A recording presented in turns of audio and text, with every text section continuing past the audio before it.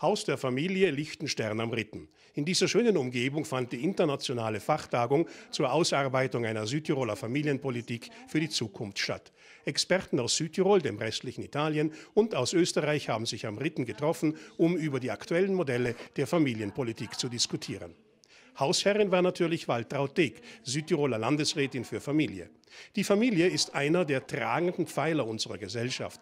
Doch wenn die Gesellschaft sich wandelt, verändern sich auch die Familie und ihre Anforderungen und Bedürfnisse. Das Thema dieser Tagung und auch das Ziel ist es, äh, Familie in den Mittelpunkt zu rücken. Heißt ganz konkret, miteinander sich auf den Weg zu machen.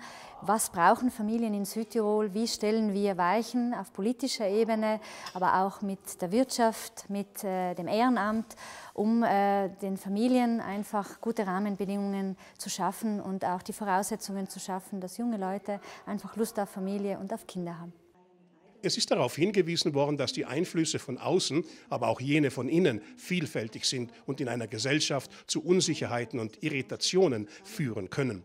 Es gilt daher, Antworten zu erarbeiten, welche sowohl auf Erfahrungen anderer Gesellschaften basieren können, als auch auf den Eigenheiten einer jeden Gesellschaftsstruktur Rechnung tragen.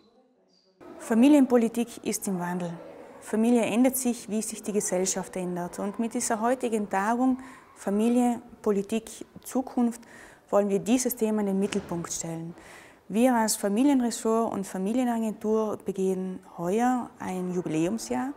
2013 wurde die Grundlage für die Landesfamilienagentur gelegt und diese heutige Tagung bildet ein Highlight, ein Meilenstein in diesem Jubiläumsjahr, das wir entsprechend begehen werden. Familienpolitik muss praktische Lösungen anbieten, welche den Familien ermöglicht, ihren Alltag in der für sie bestmöglichsten Form zu gestalten.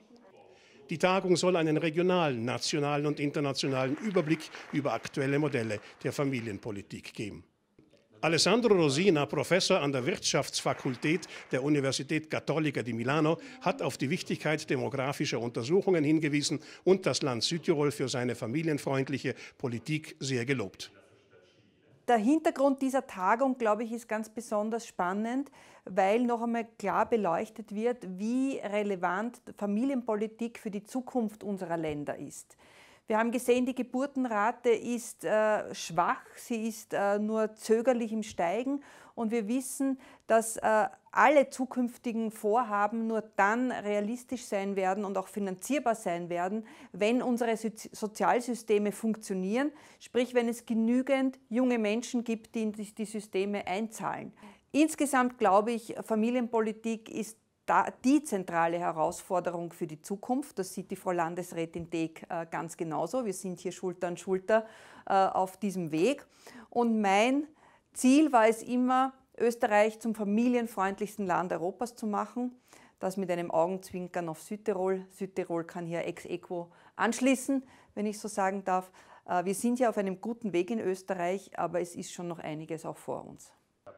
Immer wieder ist unterstrichen worden, dass es wichtig ist, eine klare Zukunftsvision zu haben und diese dann in konkreten Maßnahmen umwandeln zu können.